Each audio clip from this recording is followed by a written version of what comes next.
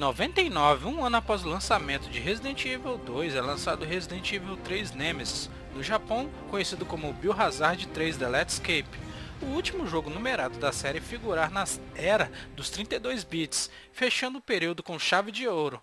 Algo que certamente podemos falar sobre Resident Evil é o que fazia a série ser tão importante e adorada é que cada jogo numerado, pelo menos até o Resident Evil Code Verônica, trazia completamente algo inovador. Não só para a saga, mas para todo o gênero de sobrevivência. Resident Evil 3 é o grande responsável por colocar de vez ponto final tudo que envolve Raccoon City, de acordo com a linha do tempo do jogo, começando com Jill Valentine decidindo escapar da cidade, está um caos devido ao vírus ter espalhado e contaminado a grande parte da população. Quando Jill se depara com seu companheiro Brad Vickers, ferido em um bar, dizendo ele está me perseguindo, os Stars, e não há jeito de escapar. Jill fica meio confusa de início, mas logo após encontrar Brad de novo, em frente à RDP, assiste a morte de Brad pelas mãos dele, Nemesis. Daí começa a perseguição insana do monstro atrás de Jill. O gameplay agora é muito mais dinâmico e a possibilidade de usar uma esquiva permitindo ao jogador evitar os ataques inimigos ou empurrar os zumbis. Se o jogador pressionar o botão de ação, haverá uma segunda prévia que ataca o inimigo. O jogador pode rodar sobre si mesmo em 180 graus pressionando o botão para trás mais o botão de correr, que é útil caso o jogador encontre cercado por muitos inimigos. Foi incluído também o movimento de empurrão, o Nemesis, que é de longe o inimigo mais difícil de ser derrotado da saga, até então há também a mecânica de mira automática, que ajuda o jogador a poupar munição. Alguns objetos no cenário podem ser explodidos e deve-se utilizá-los bem para poupar munição e matar o maior número possível de inimigos.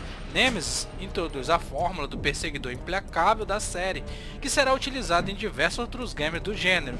Nemesis aparece de maneiras mais inusitadas possíveis, quando o jogador está atravessando um corredor, achando que está tranquilo, afinal já passou por ele tantas vezes, e ele inesperadamente quebra uma janela ou uma parede, possivelmente causando um baita susto. O primeiro inimigo da série capaz de abrir portas em algumas ocasiões, e ele vai persegui-lo por vários cenários. Resident Evil 3 faz jus ao gênero survival horror em todos os sentidos, sendo um prato cheio para aquele que quer sentir na pele o medo de ser caçado insanamente por uma criatura incansável. A cada porta que se abre é uma surpresa que pode aparecer, sendo que uma das mais marcantes podemos citar o momento em que Nemesis quebra a janela assim que Jill desce as escadas após receber uma chamada de Carlos na delegacia, e a parte que os corvos saem de dentro do ônibus e dentre outras. Alguns momentos o game vai fazer com que o jogador faça uma escolha que afetará seu gameplay, bifurcando o seu caminho, que será diferente em cada situação escolhidas, podendo até afetar o final. O jogo possui puzzles mais elaborados que nos antecessores, é, incluindo o puzzle do Water Sample, considerado por muitos o mais difícil da saga. Resident Evil 3 possui é, melhores gráficos da série até então, sendo muito mais polido e detalhado com seus antecessores. A qualidade dos efeitos e a trilha sonora continua excepcional. Os barulhos dos monstros emitem os passos dos personagens, tudo contribui para maior imersão. O jogo tem mais icônica música da sala de save até toda a série, e Nemesis tem uma excepcional trilha sonora e uma música tensa quando toca quando está perto. Os gráficos se enquadram entre os melhores do primeiro console da Sony, sendo considerado majestoso para a época do seu lançamento. A evolução gráfica entre Resident Evil 3 e seu antecessor é pequena, porém notável.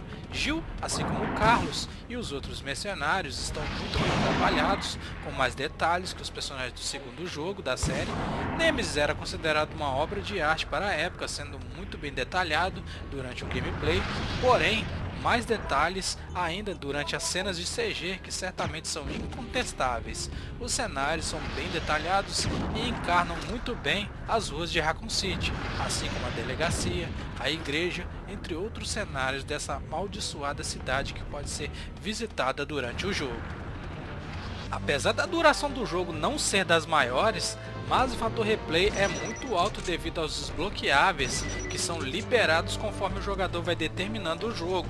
Um dos desbloqueáveis é conhecido como The Mercenaries Operation Mad Jack, onde o jogador pode controlar um dos três mercenários sobrevivente pelas ruas de Raccoon City em uma missão paralela que além de proporcionar mais algum tempo de gameplay, também conta com um sistema de acumulação de pontos, que posteriormente pode ser trocado por armas, que por sua vez pode ser usado durante a campanha original.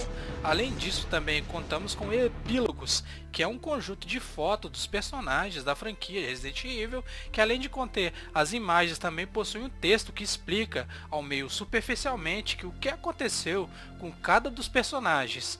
Ao todo são 8 epílogos para desbloquear e é necessário terminar o jogo no modo hard. A cada vez que você finalizar o jogo, um epílogo é liberado forçando o jogador a zerar o game mais vezes se quiser ver todos os arquivos. Resident Evil 3 é sem dúvida um jogo memorável e até hoje considerado pela maioria dos fãs um dos jogos mais aclamados da série. E sem sombra de dúvida fechou a geração 32 bits com chave de ouro. Para quem já jogou, vale a pena recordar, e para quem ainda não jogou, prepare seu coração, pois esse jogo traz fortes emoções, literalmente. E esse ano saiu o remake, mas eu não estou botando fé não. Eu particularmente não curti como foi feito o remake do Resident Evil 2. Eu sinceramente não gostei e eu achei que estragaram a história. Uma das coisas bem feitas do Resident Evil 2 original.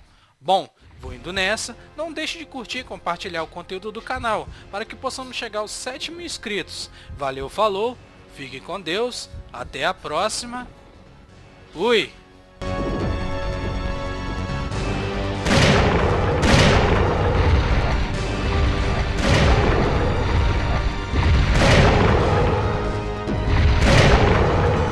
You want stars? I'll give you stars.